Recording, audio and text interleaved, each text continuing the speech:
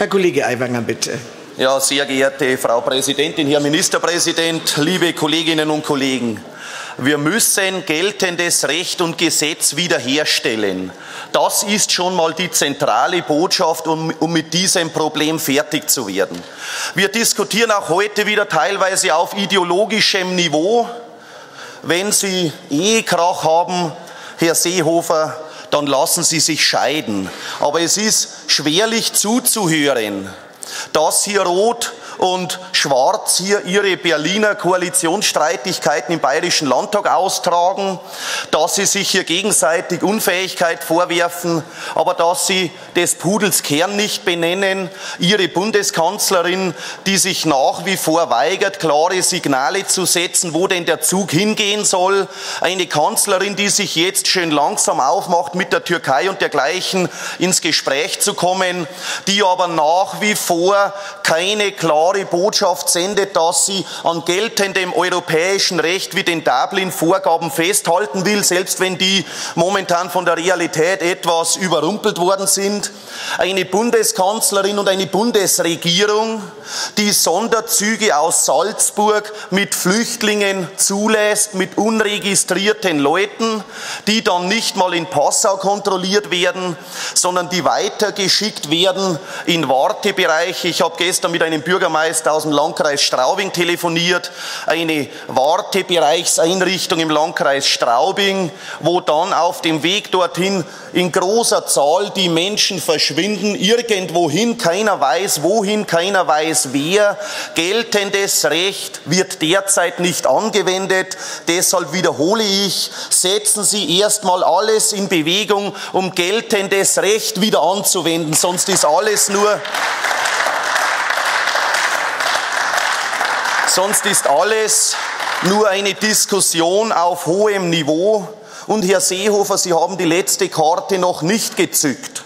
Und ich appelliere an Sie, eine eindeutige rote Linie zu definieren, die beispielsweise lauten könnte, bevor das erste private Gebäude in Bayern beschlagnahmt werden muss, um Flüchtlinge unterzubringen kündigen Sie einer Frau Merkel die Koalition auf. Das wäre ein Zeichen.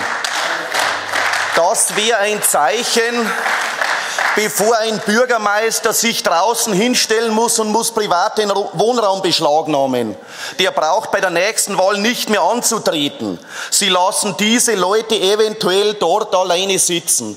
Bevor Sie diese Leute mit diesem Versagen der Bundespolitik konfrontieren, mit dieser letzten Konsequenz des Eingriffs ins private Eigentum, sind Sie als Teil der Bundesregierung verantwortlich, auch alles zu tun, was Sie tun könnten, nicht irgendwelche Selbstanzeigen anzudrohen, sondern zu sagen, Frau Merkel, dann regieren Sie mit der SPD alleine weiter, aber der Segen der CSU ist hier nicht mehr dabei. Das haben Sie im Kreuz. Und wenn Sie das nicht ernsthaft in den Raum stellen, dann ist Ihre heutige Regierungserklärung leider wieder nur eine zahnlose Ankündigung und ein Hoffen des Hineinredens in die Weihnachtsferien wir haben die Sommerferien mit wohlfeilen Äußerungen ja, überstanden. Da wurden die Grenzkontrollen als der Lösungsansatz angepriesen. Die haben äh, nicht viel gebracht, außer dass die Schleuser jetzt die Leute nicht mehr mit dem LKW über die Grenze fahren, sondern dass mit dem Sonderzug abgeholt werden oder jenseits der Grenze ausgesetzt werden. Wir brauchen jetzt Lösungen. Wir Freien Wähler wir Freien Wähler sind die Partei der Kommunen und der Bürger. Und ich habe heute Morgen mit unserem Landrat im Landkreis Landshut telefoniert. Meine Damen und Herren, während wir hier sitzen und irgendwelche Luftschlösser bauen, kriegt er heute 70 Asylbewerber zugewiesen und muss die unterbringen in den nächsten Stunden. Der ist jetzt draußen und schaut, wo er die unterbringt. Täglich zehn Personen im Landkreis Landshut, wöchentlich 70. Und ich sage Ihnen jetzt noch eins, was wir als Partei der Bürger und als Partei der Kommunen sagen dürfen und sagen müssen. Er hat mir auch gesagt, dass es, ich nenne die Gemeinde dazu, in der Gemeinde Ergolding im Landkreis Landshut Fälle gibt, von sexuellen Übergriffen von Asylbewerbern auf Jugendliche im benachbarten Freizeitzentrum. Das muss man sagen, das steht mittlerweile auch dort in der Zeitung, wo jetzt Eltern Angst kriegen, wo jetzt Eltern fordern, entweder private Sicherheitsdienste oder die Polizei, weil sie ihre Kinder dort nicht mehr hingehen lassen müssen. Und vor diesem Hintergrund sagt mir auch dieser Landrat des Landkreises Landshut, ist er nicht gewillt, in den nächsten Wochen Schulturnhallen zu beschlagnahmen und auf Pausenhöfen dann eben ja, die Kinder und die Flüchtlinge dort zu lassen. Ich weiß, das ist politisch unkorrekt, was ich jetzt sage und dürfte man nicht und sollte man nicht, aber es steht mittlerweile in der Zeitung es sagt mir der Landrat, meine Damen und Herren, das sind die Dinge, die jetzt draußen auch beim Bürger aufschlagen. Das ist die eine Seite. Ich will nicht nur diese Seite benennen,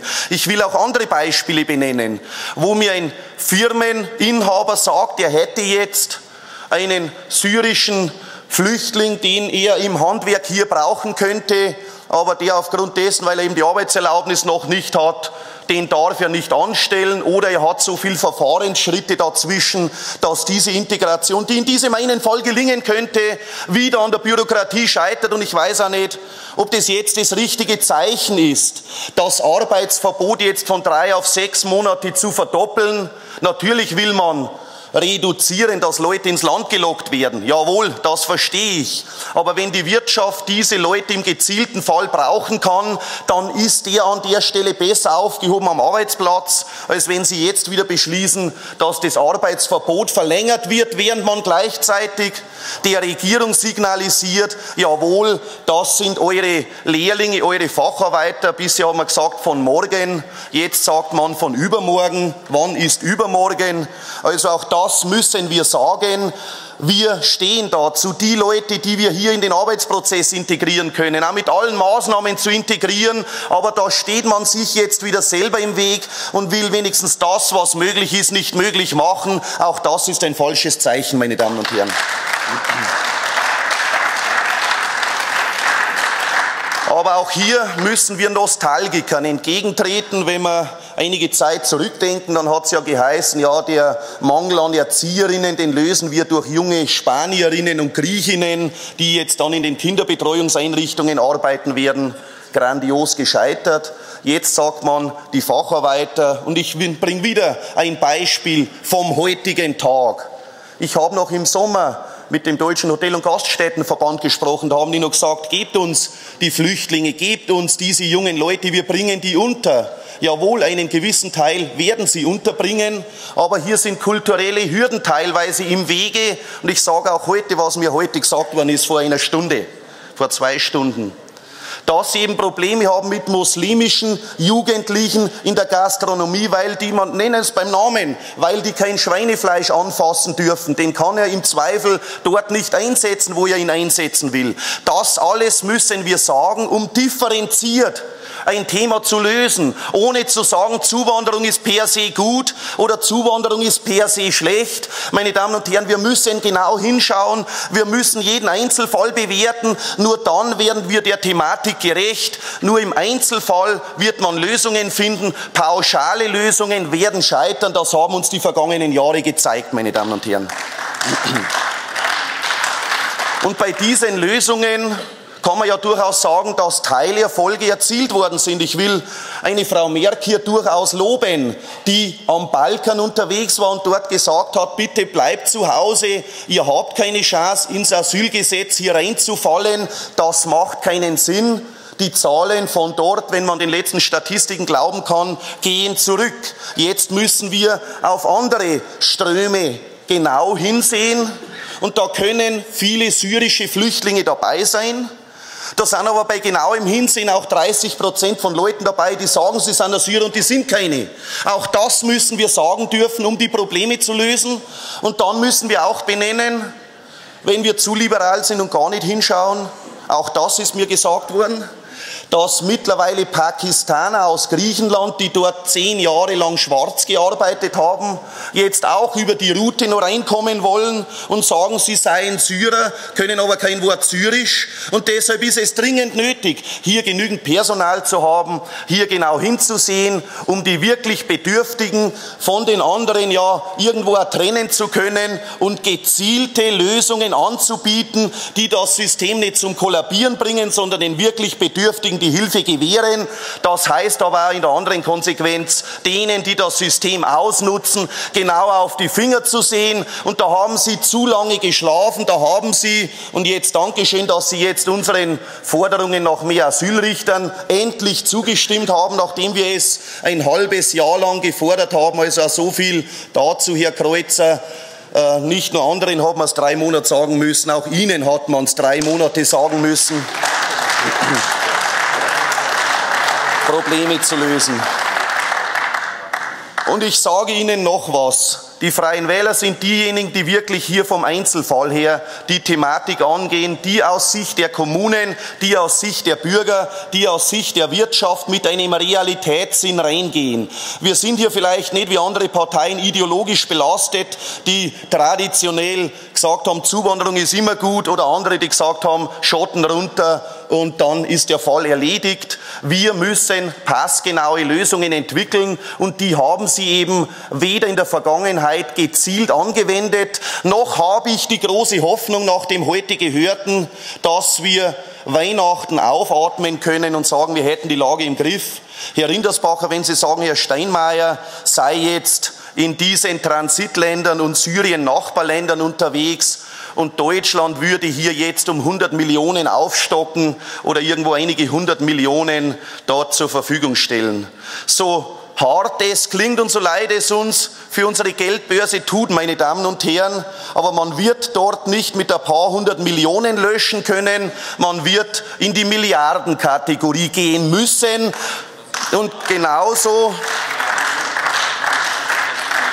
und genauso wie sie es geschafft haben, über Nacht die Staats- und Regierungschefs der Eurozone zusammenzutrommeln, um die nächsten Milliardentranchen für Griechenland freizugeben, auch dort hat man nicht mit hunderten Millionen jongliert, sondern da war der Koffer deutlich dicker. Da wurden die Milliarden und die zig Milliarden von heute auf morgen freigegeben. Dieselbe und eine noch größere Herausforderung ist die jetzige Flüchtlingssituation. Da steht ja noch mehr humanitäre Katastrophe mit dahinter. Mein Appell an Sie, wenn Sie dort international ja was retten wollen, dann werden Sie die Milliarden anfassen müssen und nicht länger nur die Millionen. So leid uns das tut. Wir haben hier auch die Leute von den internationalen Hilfsorganisationen. Ich war auch vorgestern bei deren Gespräch mit der Überschrift Fluchtursachen bekämpfen. Und es ist beschämend, von denen hören zu müssen, dass sie überhaupt kein eigenes Budget haben, keinen Haushalt haben, sondern Jahr für Jahr sich ihre Millionen neu zusammenbetteln müssen. Aber ganz klar sagen, hätten wir etwas mehr Geld, könnten wir innerhalb kürzester Zeit die humanitäre Hilfe im Libanon, in Jordanien, in der, in der Türkei aufwachsen lassen. Wir könnten von heute auf morgen mehr Lebensmittel kaufen, könnten Perspektive vor Ort schaffen. Und wenn wir wissen, dass 70 Prozent der Syrer eigentlich gar nicht aus dem Land wollen, sondern eigentlich heimatnah oder in der Heimat bleiben wollen, dann ist es eine Katastrophe und ein Versagen der internationalen Politik von einer Frau Merkel bis zu einem Außenminister Steinmeier, dass wir diese Länder bis heute quasi im Stich gelassen haben und diese Hilfsorganisationen mit Peanuts abspeisen. Meine Damen und Herren, und man wird auch internationale Gespräche führen müssen. Jetzt ja, sieht man ja, dass man ohne Assad wohl nicht um die Runden kommen wird. Man wird auch mit Putin reden müssen, wer wo wie eintritt. Man wird über Schutzzonen reden müssen. Und man wird natürlich auch aufpassen müssen, hier nicht zum Spielball zu werden, wenn die Türken sagen, wir wollen die UNO-Schutzzone nur dort, wo man kurdisches Gebiet äh, zerschneiden kann, damit die kein einheitliches Siedlungsgebiet bekommen. Dazwischen setzen wir denen die Zone rein und so weiter. Und man wird auch an unseren Freund Amerika sagen müssen, wer international agiert, muss die Dinge zu Ende denken. Und wenn wir eine Bilanz unter den arabischen Frühling ziehen, dann war das wohl nicht die große Erfolgsstory, sondern dann haben wir wohl viele Länder destabilisiert und heute ist dort die Menschenrechtslage katastrophaler als vor dem Eingriff, der begründet worden ist, damit die Demokratie wiederherzustellen, meine Damen und Herren. Auch das müssen wir genau benennen und müssen die Dinge zu Ende denken. Wir stellen aber heute fest, dass ja diese Flüchtlingspolitik immer noch nicht bei allen Entscheidungsträgern ja einheitlich gesehen wird, dass es immer noch viele gibt, die meinen, da ist der ganz große Reibach zu machen. Es geht ja jetzt auch irgendwo darum, woran kann man verdienen.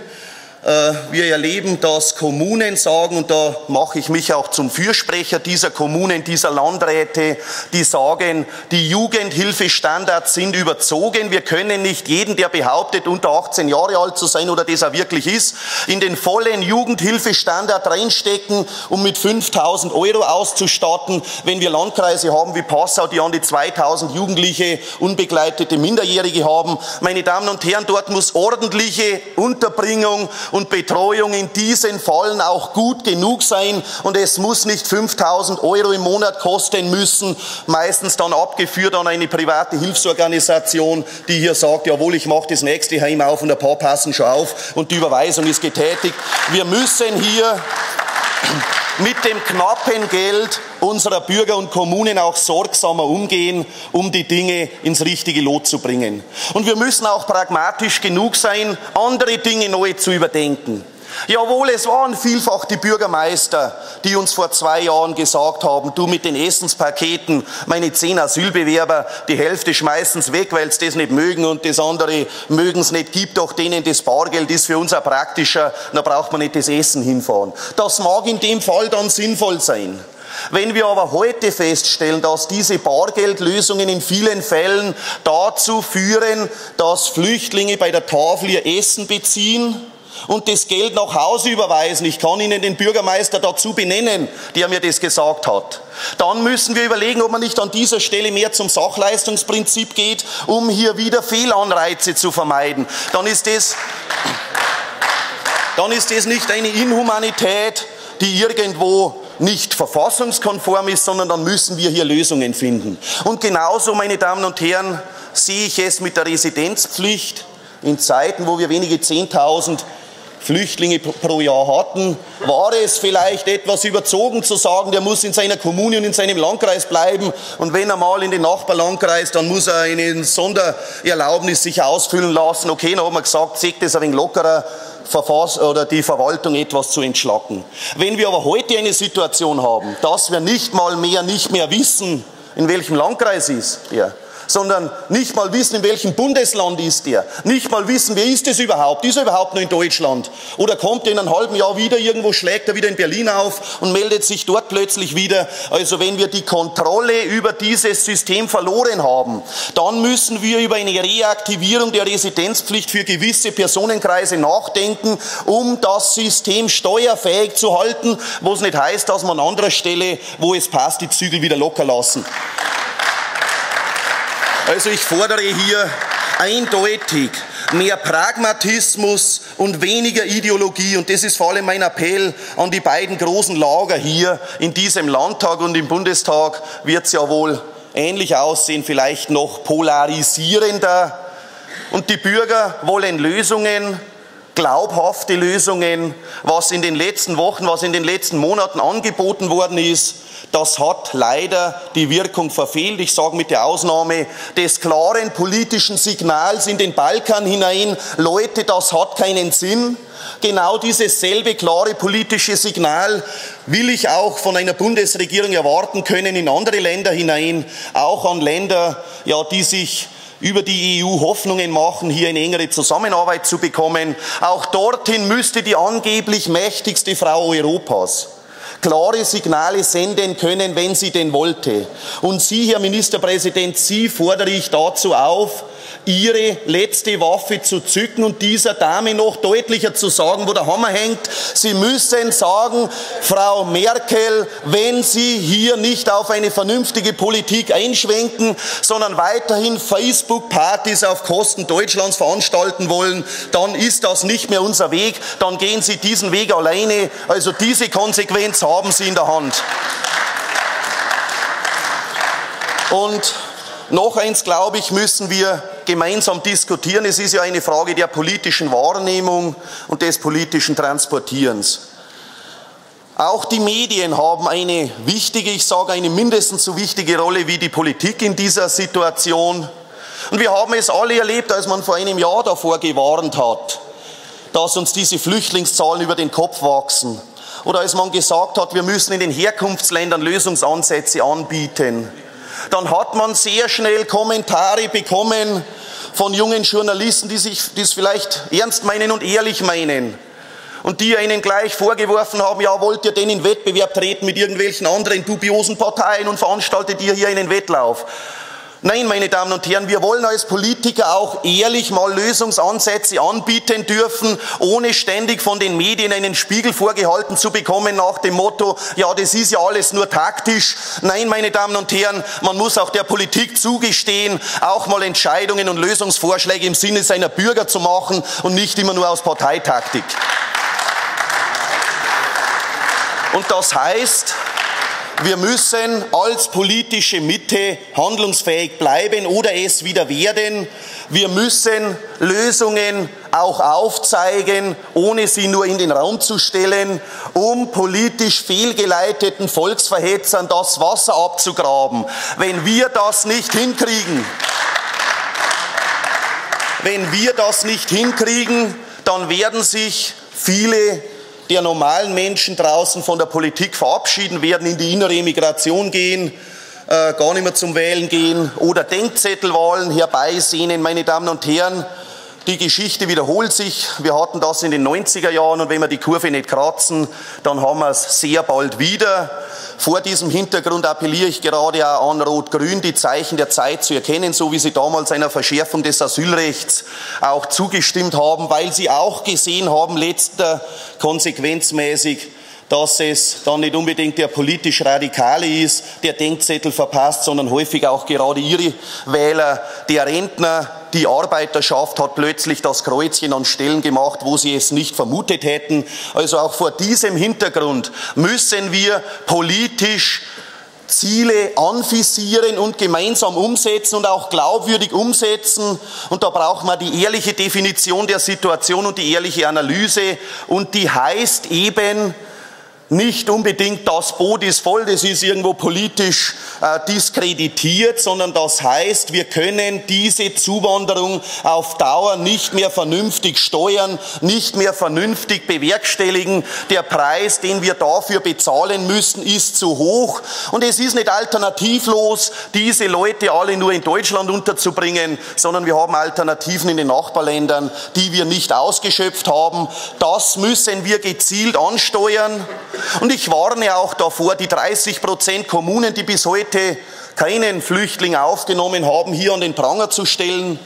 Meine Damen und Herren, das sind vielfach Kommunen, wo die bisher geforderte Infrastruktur eben nicht vorhanden ist. Der Anschluss an den öffentlichen Personennahverkehr, der Supermarkt um die Ecke, den man auch zu Fuß erreicht, die neue Hausarztversorgung und dergleichen. Das sind Kommunen und Sie kennen die Debatte der letzten Monate wo es geheißen hat, nein, im bayerischen Wald wollen wir nicht hin, da ist nichts los. Wir wollen in die Nähe von München. Auch das sind Wahrheiten. Also ich bin kein Freund dessen, diejenigen heute an den Pranger zu stellen, die vielleicht noch für ein paar Wochen Atempause sorgen könnten. Natürlich soll sich keiner seiner Verantwortung entziehen können, aber pauschal zu sagen, 30 Prozent, wenn noch mitmachen, dann bringen wir 30 Prozent mehr unter. Das sind häufig sehr kleine Kommunen, häufig ländliche Kommunen, wo diese Situation eben nicht gegeben ist, die man für eine vernünftige Erstintegration auch braucht braucht. Wir müssen heute, wo wir noch ein bisschen Luft in der Sauerstoffflasche haben, das Problem lösen und nicht sagen, macht jetzt mal ihr 30 Prozent noch mit und dann schauen wir wieder weiter. Wir brauchen heute die Lösungen, die liegen auf der Hand. In der Kommune beginnend, den Kommunen auch alles abzunehmen, was auf deren Schultern lastet. Und wenn Sie schon sagen, es ist Bundesaufgabe, Herr Ministerpräsident, und nicht Aufgabe des Landes, dann stelle ich obendrauf und schon gar nicht die Aufgabe der Kommunen, die retten Ihnen momentan den Hintern. Also darum geben Sie denen alles, was die brauchen. Und das ist das Personal bei den Gemeinden, das ist das Personal bei den Sozialämtern, das ist das Personal bei den Ausländerbehörden der Landkreise. Die stellen derzeit in Dutzenden Personal ein auf eigene Rechnung. Das geht so auf Dauer nicht weiter. Die Milliarden. Die Milliarden, die Sie von oben kriegen, geben Sie die dorthin durch, wo die Arbeit erledigt wird. Und ein kleines banales Beispiel sei mir auch noch erlaubt zum Schluss. Meine Damen und Herren, mich hat vorgestern ein Lehrer angesprochen und hat gesagt, die Stellen ist schön und gut, aber gebt uns ein gewisses Budget. Ich suche mir dann schon die Person vor Ort. Das kann die polnisch, das kann die polnisch sprechende integrierte Person sein, die dann irgendwo irgendwo gezielt, okay, dann setzt dort noch was drauf, dass die Schulen dort genügend auch Budget haben, um das Personal, das sie brauchen, gezielt anzustellen und nicht zu sagen aus dem Helferkreis, die Person würde eigentlich passen, aber ich muss dir sagen, du kannst ehrenamtlich weitermachen, aber dich ordentlich zu bezahlen, dafür fehlen die Mittel. Diese Aufgaben kosten Geld von der internationalen Situation über die Landesebene bis zur Bundesebene, bis zur kommunalen Ebene. Meine Damen und Herren, das kostet richtig Geld und da müssen wir am Ende dann auch ehrlich sein und sagen, wie viel können wir leisten, wie viel wollen wir auch leisten, wie viel ist auch alternativlos, dass es geleistet werden muss oder wie viele fahren hier nur auf dem Trittbrett mit und bedienen sich eines Systems, das aufgrund des Versagens der Bundes- und Europapolitik eben jetzt offen steht. Korrigieren Sie die Fehllage auf europäischer Ebene und Ihr Asylverfahrensgesetz. Kehren Sie zu Pragmatismus zurück und seien Sie so ehrlich zu sagen, jawohl, wir wollen den Menschen in Not helfen, aber wir können nicht alles tun und wir müssen gezielte Lösungen anbieten. Das System hält noch einige Zeit durch, wenn Sie die Kommunen unten noch mitnehmen, wenn Sie die Kommunen unten aber jetzt nicht mehr mitnehmen. Und das haben wir ja die ersten Zeichen, dass die Landkreise in der Grenzregion schon Aufnahmestopp verkünden werden, dass auch ein Landkreis Landshut, um im Beispiel zu bleiben, mit dem ich heute telefoniert habe, sagt, in wenigen Wochen ist sein Soll erfüllt, dann hat er seine 1800 Flüchtlinge und dann schickt er alles durch und wird keine Bürgermeister mehr mit dem Thema behelligen. Meine Damen und Herren, dann haben wir Feuer am Dach, löschen wir, solange das noch geht. Seien wir ehrlich zu uns selbst, der Appell an Rot-Grün. Sind Sie für Lösungen, die funktionieren, damit dieses Asyl- und Flüchtlingsthema eben nicht uns schafft, sondern dass wir es schaffen. Aber was derzeit an Weichenstellungen im Raum steht, deutet eher darauf hin, dass es uns schafft, als dass wir es schaffen. Und zeigen Sie Ihrer Frau Merkel nochmal, wo der Hammer hängt. Dankeschön.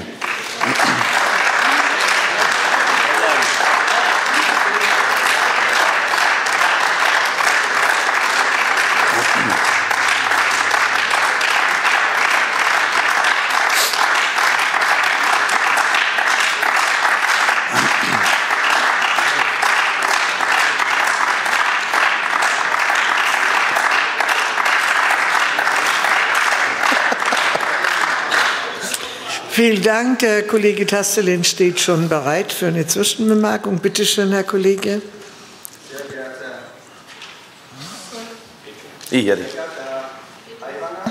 Geht's? Ja, jetzt. Sehr geehrter Herr Aiwanger, ich gebe Ihnen recht, wenn Sie sagen, dass wir sehr viel Zeit verloren haben. Auch wenn Herr Kreuzer in seiner Rede gesagt hat, dass der Ministerpräsident der Ministerpräsident zeigt, was geht und eiert nicht rum. Wir haben beispielsweise schon länger, es hat auch mein Fraktionschef Markus Rindersbacher gesagt, ein Integrationsgesetz gefordert. Wir haben das hier im Bayerischen Landtag eingebracht. Das wurde von Ihnen abgelehnt, weil der Herr Ministerpräsident irgendwann in seiner ersten Regierungserklärung, glaube ich, gesagt hat, dass er keinen einzigen zusätzlichen Paragraphen in dieser Legislaturperiode möchte. Und das kann ja kein Argument sein, um etwas abzulehnen. Jetzt auf einmal entdeckt die Regierung auch, dass ein Integrationsgesetz sehr förderlich für Bayern sein kann. Das ist es und das ist auch gut so. Wenn Sie davon reden, dass dieses Paket nicht Millionen, sondern Milliarden kostet, gebe ich Ihnen völlig recht. Wir müssen aber den Bürgerinnen und Bürgern ganz deutlich sagen, dass dieses Geld nicht irgendjemanden in den Rachen geschmissen wird, sondern dieses Geld wird in bayerische Lehrerinnen und Lehrer, Erzieherinnen und Erzieher, Verwaltungskräfte und Polizistinnen und Polizisten investiert. Es ist im Grunde genommen ein Konjunkturpaket, was sehr gut ist für Bayern. Wenn Sie solche Formulierungen, lieber Herr Aiwanger, Sie wissen, ich schätze Sie sehr, solche Formulierungen wie Muslime finden in Bayern in der Gastronomie keinen äh, Job, ähm, gehören, glaube ich, nicht in den Bayerischen Landtag. Ich glaube, Sie sind auch froh, wenn die Kellnerin oder der Kellner unterwegs von der Küche zu Ihnen an den Tisch Ihr Essen nicht mit bloßen Händen anfasst. Und außerdem lade ich Sie gerne mal nach Nürnberg ein. Wir gehen mal in ein veganes Restaurant und äh, Sie können quasi auf meine Kosten Warum vegan? gemeinsam Ich habe mit vom mir essen. Schweinefleisch gesprochen, aber okay. Okay.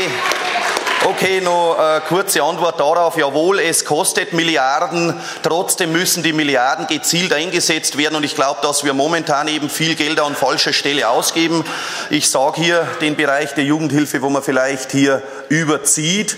Äh, Wir hoffen, dass das Geld nachher richtig eingesetzt wird, dass es auch den richtigen Personenkreisen zugutekommt. Nicht Leute, die sich als Syrer titulieren, aber keine sind. Und bis wir es merken, weil wir zu wenig Asylrichter und so weiter hatten, äh, dann sind eben die Tausende aufgelaufen. Also genau hinschauen, um die Gelder der Bürger sinnvoll einzusetzen.